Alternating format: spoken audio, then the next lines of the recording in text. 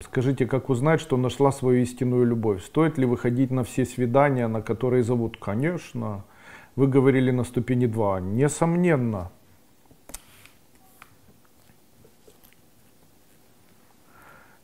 Нет такого абсолютная любовь, абсолютная любовь. Нет, это опыт двух людей, совершенно чужих, которые начинают друг с другом жить. Этот опыт, если предложили, соглашайтесь. Пожили не получилось, расходитесь. Нет, нету в этом страдания. Бог создал человека, чтобы люди радовались. От того, что человек не идет на свидание, не хочет ни с кем встречаться, от этого опыта он не наберется. Если жизнь это опыт, то каким образом его получать?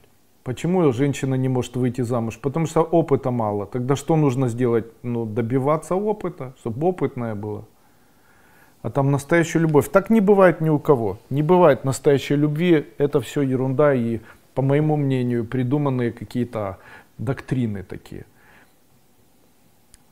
Там, знаете, очень много есть таких людей, которые эм,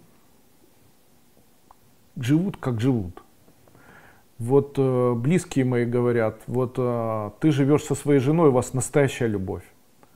Я на это им всегда говорю, а ты живешь со своим мужем, и это настоящая любовь. Нет, мы иногда ругаемся. А кто сказал, что в настоящей любви не ругаются? Кто сказал?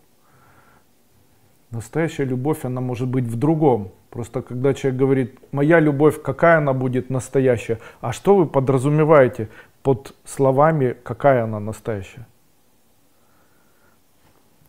Любая любовь и любое событие между мужчиной и женщиной, это все по-настоящему. Раз вы живете, раз вы в этом проживаете, раз есть слово «люблю», значит это настоящая любовь.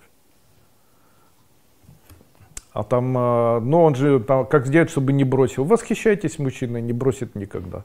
Каждый день восхищайте. Говорю, какой ты молодец, как, какой ты умница, так хорошо, такой умница, так все получается, такой молодец. Ну, все это великолепно работает. Проявляйте милость к этому человеку, будете получать его благость. Милость это значит миловать, прощать. Милость это значит не, раздража, не раздражаться, целовать. Милость это поддерживать. Милость это обращать внимание. Милость это миловать. А противоположность милости это судьей быть, знаете, как получается? Обычно женщина-судья это женщина, которая постоянно драконит, то есть там мое последнее слово, да пошел ты, сколько можно, вот это ты нажрался, или там вот это ты жирный, ты толстый, не лежи, не сиди, а ты такой, а ты такой. Ну и все, один судья, другой подчиненный. Рано или поздно подчиненный убежит от судьи. Все, рано или поздно это закончится. Плюс еще вранье. Когда мужчина с женщиной начинают встречаться, старайтесь не врать. Ни кто были родители, ни кем там вы были, ни какие-то истории, ничего. Не надо вам это. Почему? Жизнь, основанная на неправдивых отношениях, рано или поздно разрушается. А, нельзя жениться ради. Нельзя. Нельзя жениться ради квартиры, нельзя жениться ради того, чтобы у отца отец был у сына, нельзя ради чего-то жениться. Это очень плохо.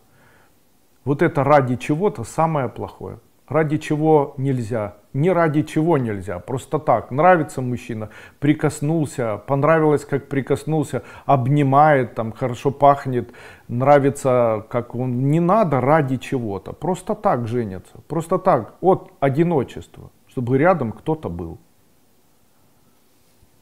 А жить ради это же проституция, знаете, это на что похоже?